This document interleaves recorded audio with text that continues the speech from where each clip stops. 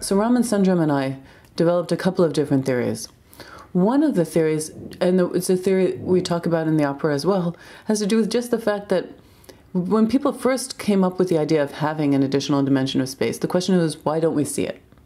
And the answer that people gave was, it could be really, really tiny. So tiny we don't see it. It's, it's a rather intuitive concept, and you can make it formal mathematically that you don't see something that it's very small. What Raman and I found was that if space time is curved or warped, that's what Einstein taught us that if you have energy, it can curve space. And we found a particular way that space could be curved so that you can even have an infinite dimension of space. You can go off in an infinite direction, uh, infinite distance in one direction that we don't see. But you still wouldn't observe it because space time itself is so distorted.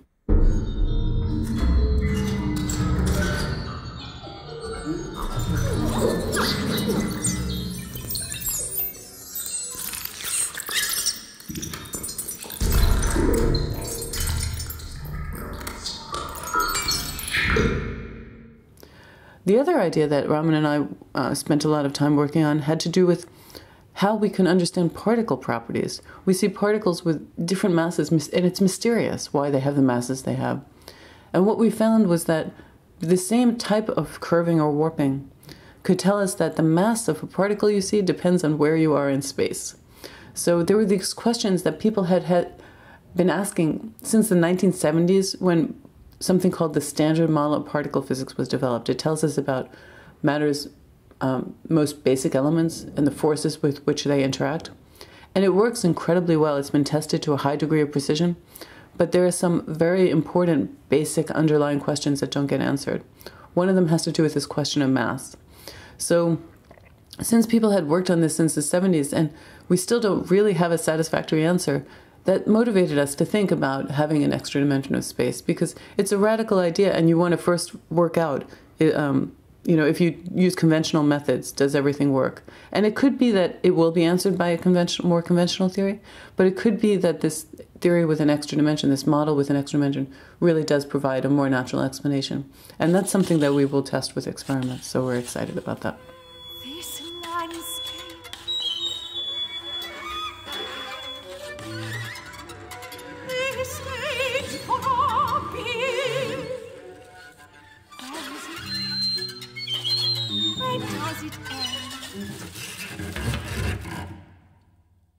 Gravity is an incredibly weak force compared to all the other forces, and that's a real mystery in particle physics. This has to do with this question that underlies the Standard Model. We really want to understand why gravity is so much weaker than the other forces. And it's not just a question of, um, you know, we'd like to understand it. It almost looks inconsistent. If you put together quantum mechanics and special relativity, Einstein's theory of gravity, you find that the masses want to be about the same, but we find that there are these very, very different mass scales that appear in the theory. And it's really a question that led not just Raman and me, but every particle physicist has worked on this question of why these masses are so different. It's called the hierarchy problem of particle physics. It's a major problem. It's a question that we really want to find the answer to at, at experiments. And our idea was so before, um, say, the 1990s, everyone had tried to think about could we have different theories of particle physics that might address this question. Um, what the interesting idea that came out in the 1990s, in part based on um, Joel Polchinski worked on certain theories of string theory that included these new objects called branes that I'll talk about. Um, Dimopoulos, Arkani Hamed, and Dvali had worked on ideas that maybe extra dimensions have it. They had this idea that maybe it's not particle physics that we had wrong, maybe it's gravity that we had wrong.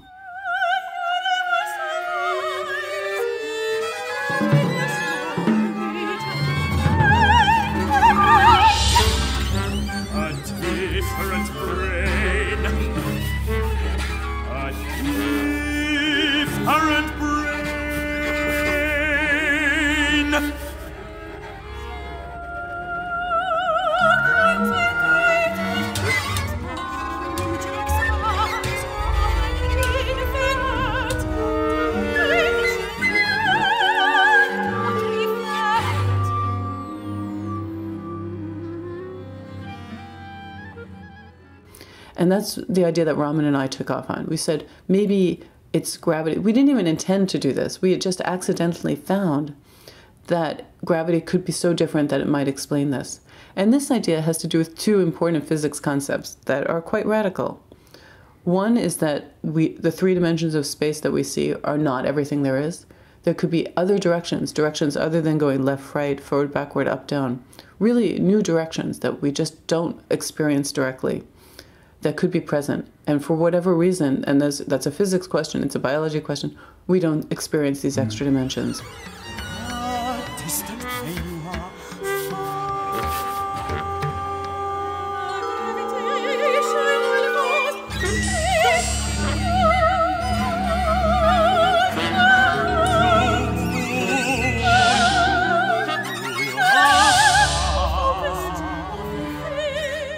The other idea, and it really became an important idea in the context of string theory, was that string theory doesn't just have objects called strings, which are one dimensional extended objects, objects that wiggle in one direction, but they have objects called branes.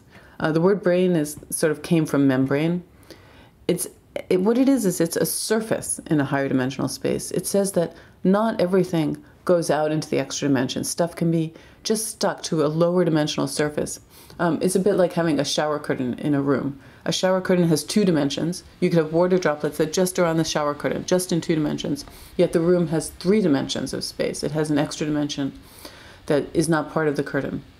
And in the same way, it could be that there's a three dimensional surface, that is to say, three spatial dimensions, that lives in a higher dimensional space, and we could be stuck on that surface. The idea that Raman and I had was that there could be an extra dimension that actually is bounded by these branes. That is to say, there are two three-dimensional surfaces and space in between that is has four dimensions of space, five dimensions of space-time.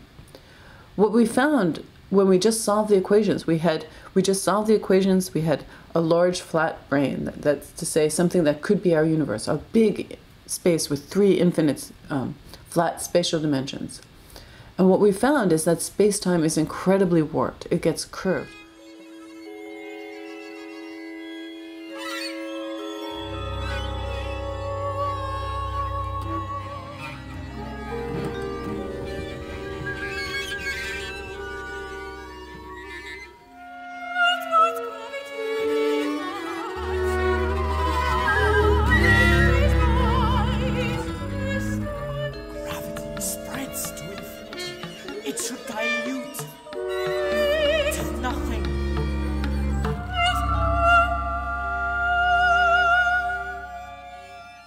What masses you would be, expect to find depend on where you are in space. What distances you expect to find depends on where you are in space. It's space-time itself is kind of expands or shrinks, in fact, in a way that we talk about in the opera.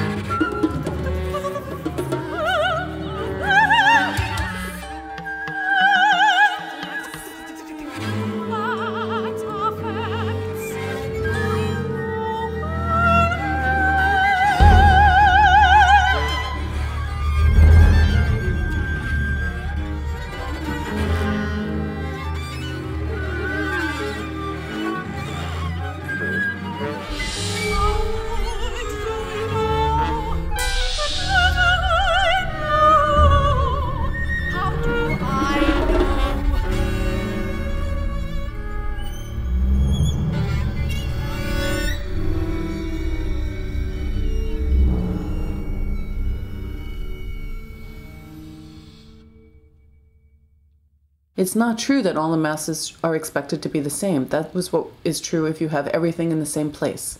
When we have it spread out in this warped extra dimension, it could be that you have extremely different masses. And in fact, what we found is that it changes with exponentially, so that where you are is very sensitive. Masses are very sensitive to where you are. So it's a very natural explanation for why masses can be so different.